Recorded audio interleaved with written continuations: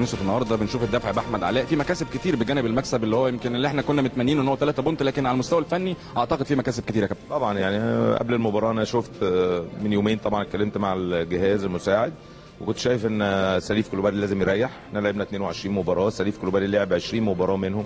الوحيد اللاعب الوحيد اللي ما ريحش غير مباراتين فقط لا غير ودي كانت منعكس عليه في الفترة الأخيرة. فأنا خدت قرار طبعا إن هو يريح ودفعت بأحمد علاء. أحمد علاء من اللعيبة اللي اتمرن كويس ومحتاج ياخد فرصة فطبعا ادينا له فرصة ودي مهمة جدا. لعيب آه، أنا شايف النهارده أدى جيم كويس جدا باسم علي النهارده ادينا له برده ربع ساعة في الآخر على أساس إن إحنا نطمن عليه وقفل الحتة اليمين قدام ندفد عندنا مكاسب كتيرة شريف إكرامي بيأكد آه، إن هو حارس مرمى آه، يعني ما أقدرش ما أقدرش أتكلم لكن كان في يعني فقدان للثقة من فترة لكن النهارده بيلعب مباراة أنا شايفها كويسة جدا. آه، خلينا نبني على الفوز ده.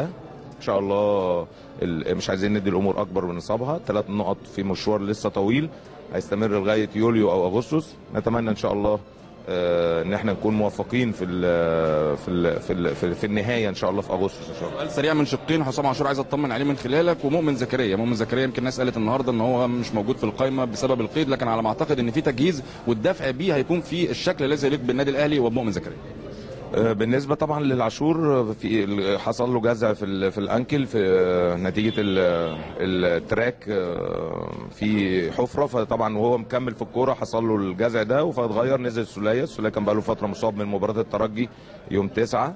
النهارده خد 45 دقيقة. أنا شايفه بشكل كويس آه، عنصر من عناصر ال- ال- المميزة لينا في نص الملعب. آه، بالنسبة للمؤمن أنا عملت له برنامج من أول ما توليت المسؤولية عملت له برنامج آه، على فترتين يوميا على أساس إن أنا أجهزه واشتغل معاه كان سامي وعادل بيشتغلوا معاه بالتناوب مع حسين في الجزء البدني وشغالين. إن شاء الله هيخش معانا الفترة الجاية لكن آه، مؤمن كان محتاج إن هو يتجهز. الناحية النفسية بالنسبة له مهمة جدا وأنا بتعامل معاه بشكل نفسي كويس جدا. يمكن ما يقال طبعا موضوع تجديد ومش ده موضوع يعني مش مش في حسباننا خالص. ويمكن وأنا كنت آه، مساعد لمستر كارترون قلت له الموضوع ده مش في حساباتنا خالص. ودلوقتي وأنا مدير فني بقول له برضو الموضوع مش في حساباتنا. بس لازم لما يرجع ويخش لازم يبقى بالشكل اللي الناس عارفاه عن مؤمن. دي مهمة جدا. وإحنا إن شاء الله بنجهزه. وعملنا له كمان شغل للقوة. مع حسين عبد الدايم. إن شاء الله الفترة الجاية هنشوفه إن شاء الله. شكرا. مبروك. مبروك عليكم شكرا بنشكر أكيد الكابتن محمد يوسف المدير الفني لفريق النادي الأهلي المكسب.